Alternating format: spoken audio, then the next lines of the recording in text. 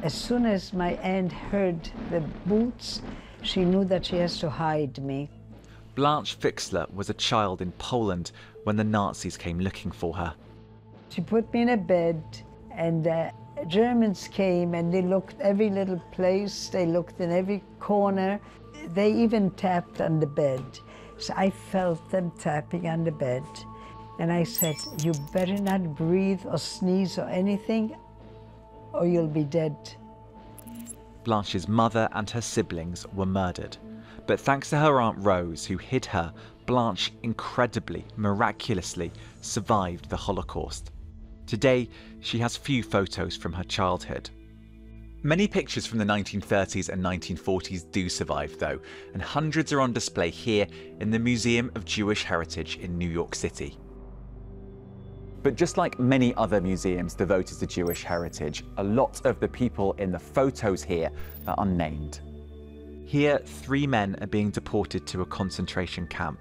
Perhaps they don't know where they're going. We don't know. The museum says they don't know who they are or what happened to them. It's a common story. We don't have the names uh, for everybody. That's, you know, part of the problem. And I, I, I, I can't stress enough how important these photos are of individuals. We all know the figure, you know, six million, six million Jews who were killed, but it's really one person six million times. Every person has a name, every person has a face. But as members of that community have died, so too has the ability to directly identify others in archival photos. Software engineer Daniel Patt has been working to help solve this problem using artificial intelligence. He calls the project From Numbers to Names.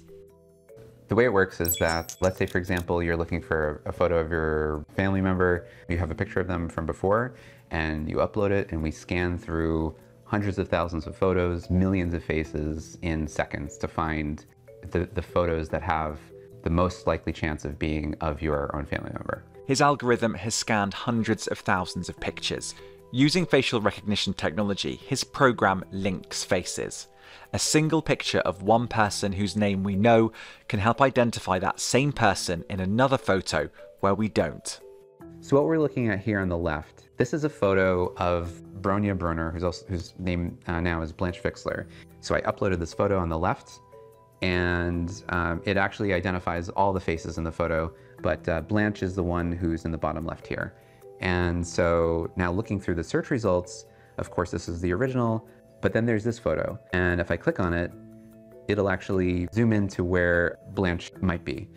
This is not a photo that, uh, to the best of our knowledge, Blanche has ever seen before, and to the best of our knowledge, uh, the museum is not aware that Blanche is actually uh, here in this bottom row.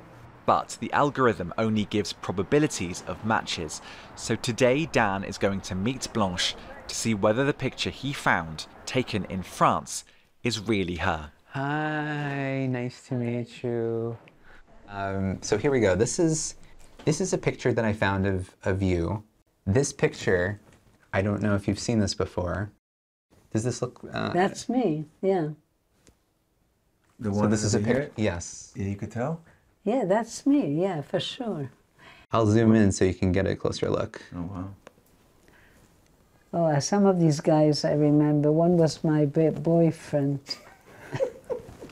And in the picture, her Aunt Rose, the aunt that saved her. And here is my aunt, Rose, and Oh wow. wow. So I think, uh, uh, to the best of my knowledge, there's only three people in this in this group that have been identified so far. There are hundreds of thousands of people murdered by the Nazis for which there are pictures but no names. Scott Miller is not part of the Numbers to Names project, but says at least trying to identify victims, even 80 years later, is vital. It's so important to identify these photos because by focusing in on, you know, on, on photos and being able to even just to name somebody, to give somebody a name, you're restoring some semblance of dignity to them, some comfort to their family, and it's a form of memorial for the entire Jewish community. For Blanche, the pictures bring back memories, a song that she learnt in her brief time in France. Quand j'étais mademoiselle, mademoiselle, mademoiselle, quand j'étais mademoiselle, mademoiselle, j'étais.